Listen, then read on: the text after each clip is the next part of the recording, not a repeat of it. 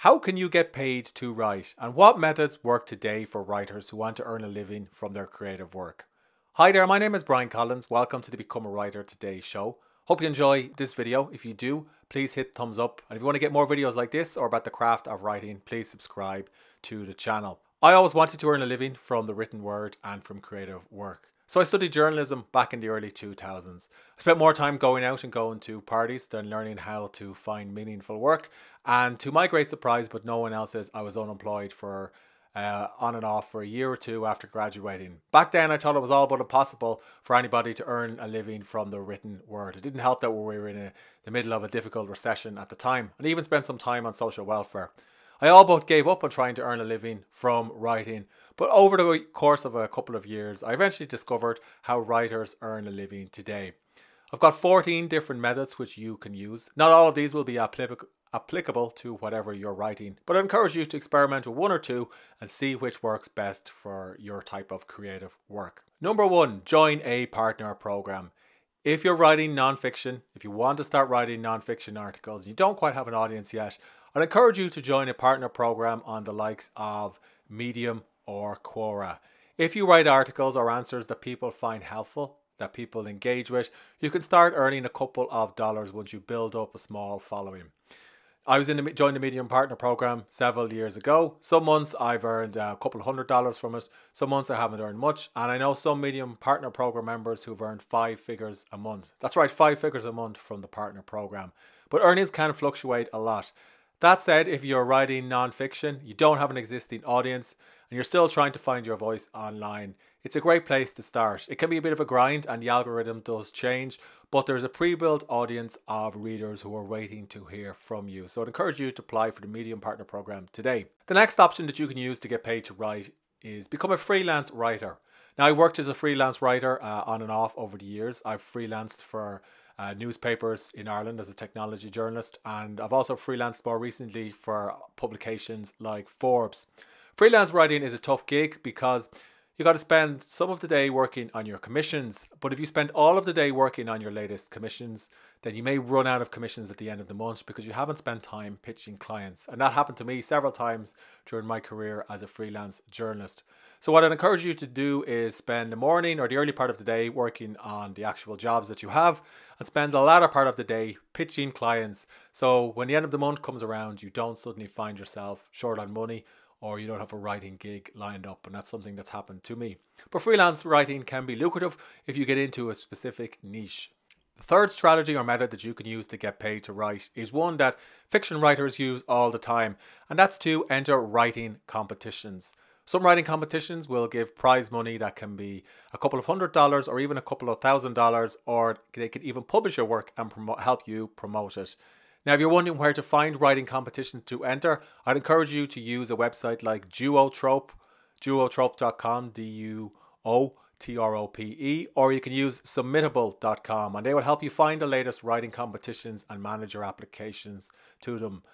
That I've entered a few writing competitions over the years. I was shortlisted for one or two, but I never really won much money with this method.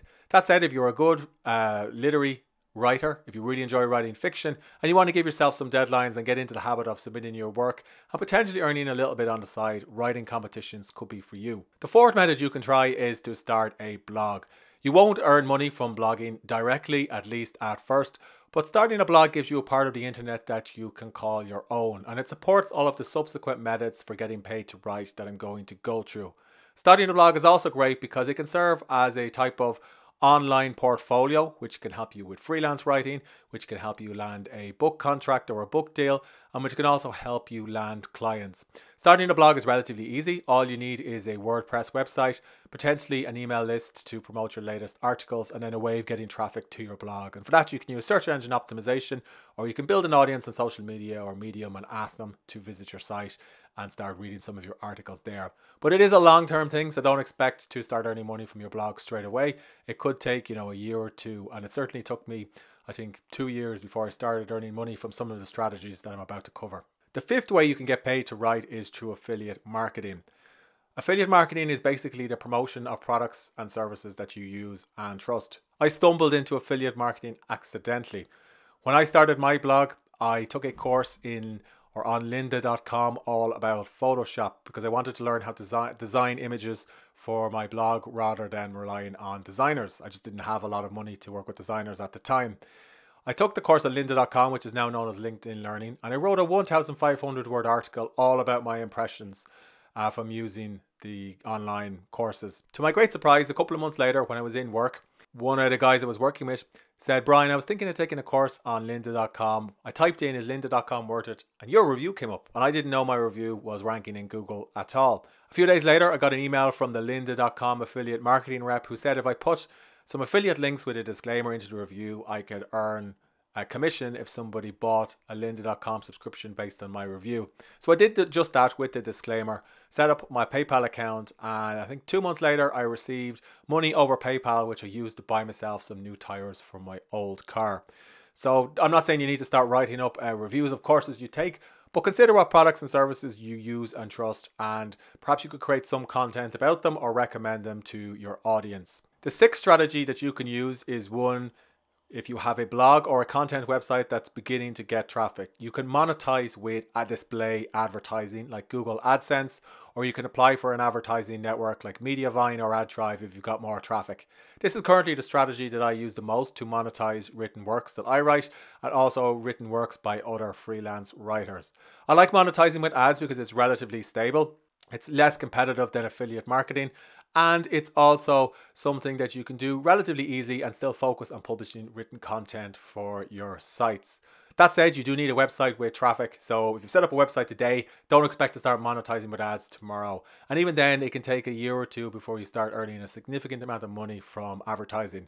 That said, the is there is no cap on how much you can earn from advertising and some content publishers who have hired a team of writers earn six figures a month. That's right, a month uh, from monetizing with ads. So if you're serious about content publishing, that might be a strategy that you could pursue. The seventh strategy that you can use to get paid to write is to consider buying and flipping websites. If you're a writer, you're talented with the written word. Writing can seem like a mysterious, dark art to people who don't write. So if you're able to produce content quite quickly, chances are you can build out a content website on a specific niche or a topic, and then you could potentially sell that website because the content in it is valuable or is already attracting traffic. Websites typically sell for by 32 to by 47 multiple of monthly profits. So even if you're earning a small amount, like let's say two or three hundred dollars from your site, that could be a nice little uh, income that you earn from selling your website via a broker like Motion Invest or Flippa or elsewhere. Now, I realize some of those methods and strategies might not apply to you or to your types of writing. So consider self publishing. Now, I've self published a couple of books over the years. I've self published The Power of Creativity, to Become a Writer Today series, and more recently, my book, I Can't Believe I'm a Dad. Self publishing is great because you don't need to rely on any gatekeepers. If you have an idea for a book and you can see it through, you can call yourself an author. But self publishing isn't easy. You still need to invest in your book, and that means hiring a book editor, a book cover designer, and also potentially investing in advertising for your book.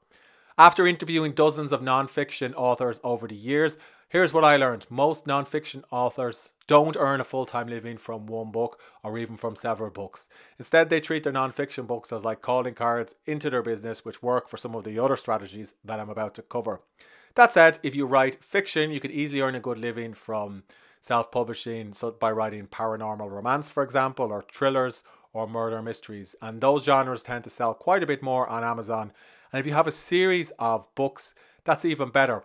Because after interviewing a number of successful fiction authors, what I've discovered is they don't quit their job after book one. It's only after they've written seven or eight books and they're committed to writing and self publishing and that they've improved their craft and built an audience of readers.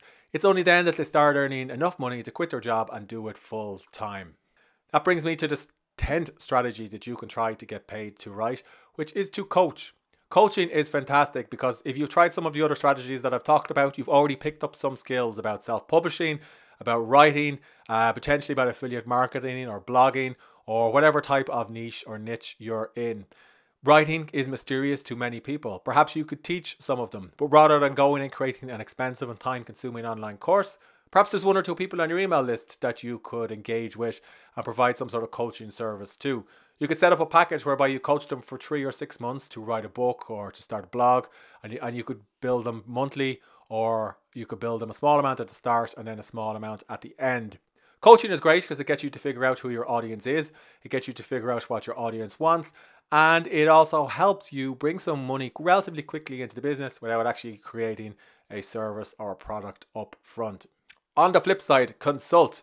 So I, after interviewing a number of non-fiction authors, what I found is business non-fiction authors offer consultancy services, which is a bit like coaching, except you're adv- offering advisory services to a business rather than an individual, and that can be a lot more lucrative because a business will potentially have a you know a bigger budget, and also chances are you're more knowledgeable about the subject or it's a more profitable topic. So if you're writing in the business to business genre or you're writing for entrepreneurs, perhaps you can consider setting up some sort of consultancy and using your books as a lead magnet for your consultancy service. The 12th strategy that you can try is become a public speaker. I've interviewed a number of public speakers uh, over the years. Public speaking is an interesting gig for earning money because you can earn money from actually giving the talk. But not only that, some of the public speakers that I've talked to build it into their contract that they whoever's hiring them also has to buy a set amount of their books. So they're getting paid for giving a big talk and they're also getting paid for selling copies of their books. Public speaking is also good according to the people that I've talked to because it can bring in a large amount of money uh, over the course of a couple of days and then you can take a few weeks or a few months off. That said, they all said public speaking is quite difficult. Not that they have a fear of getting up on stage, but that you do need to spend a lot of time preparing for your big talk and you still need to go out and pitch and land your clients or your public speaking gigs. The 13th strategy that you can try is to create digital products. What do I mean by digital products? Well, many bloggers and non-fiction writers that I know create things like printables. They use services like Etsy to sell their printables. Printables. So these could be um, printables for organizing your day, printables for setting goals, printables that you can use for uh, story writing or templates and other types of uh, outlining and planning. Creating a digital product isn't just confined to creating printables though. The 14th strategy that you can try is to create a digital course. I've created a number of digital courses over the years covering topics like writer's block. Creating digital courses is more lucrative than writing and self-publishing your first book, but there's a big caveat. You've got to invest nearly more time in promoting and selling your course than you do in actually creating it. No, that's not an excuse to create a cheap course, but it can be quite difficult to invest a lot of hours in a course and then find out nobody buys it. So it's usually a better idea to create a bare bones course and then sell it as a minimal viable product with the caveat that you're going to iterate and improve on it. And then if you start getting people who are buying your course, you can go back and improve the materials uh, and potentially increase the price. There you go. Those are 14 different ways you can get paid to write today. What I would say to you is to experiment with these strategies and see which one works best for your creative business. Once you start earning money from these strategies, and once you've paid yourself, and always pay yourself first, consider investing some of this, this income back into your business. So let's return to self publishing, for example. When I self published my first book, I got a cheap cover and I tried to edit it myself. The cheap cover was okay, but editing a book myself wasn't. So as soon as I started, uh, it wasn't because there was typos and mistakes in the book. As soon as I started earning money from some of those other strategies, I hired a professional editor to fix the books and I commissioned a better book cover and my book sales went up. Similarly, when I started earning a small bit of money from affiliate marketing, I migrated to faster website hosting and my traffic went up because I also invested in taking courses in search engine optimization. So when you started earning money from getting paid to write, remember to pay yourself, to invest back in your creative business or business, and also to invest in your learning as a creative entrepreneur. My other key takeaway for you is this don't become too dependent on one income stream.